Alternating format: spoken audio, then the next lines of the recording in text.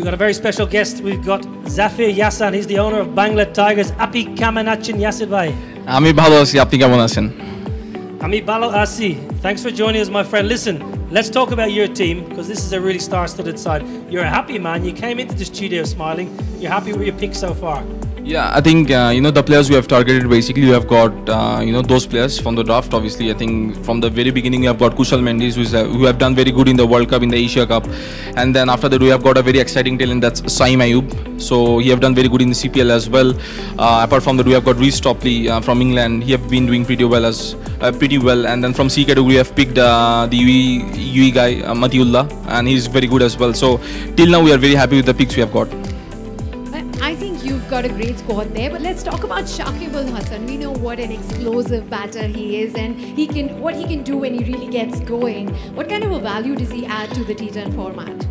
I think uh, if you look at Bangladesh, uh, the, num- the the first name that comes in mind is Shakib Al Hasan without a doubt, and he have been in the top for last 10, 12 years.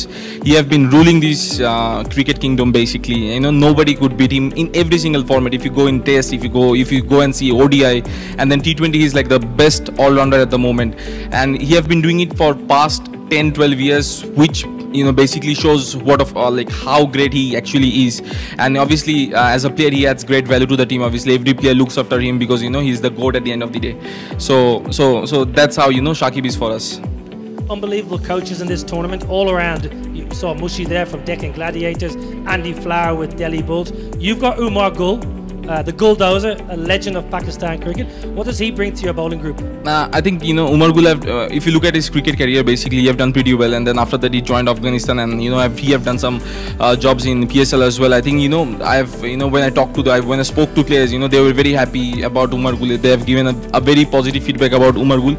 So from you know that perspective, we have taken Umar Gul, and also in uh, Abu Dhabi conditions, I think fast bowling coaches, you know much more important. Obviously, at the end of the day, uh, you know this is a very fast format, so the fast bowlers are the ones who basically dominate. So we thought of you know getting Umar Gul, who is like a very good, who was a very good fast bowler, and also uh, who have been doing pretty well in the coaching industry at the moment.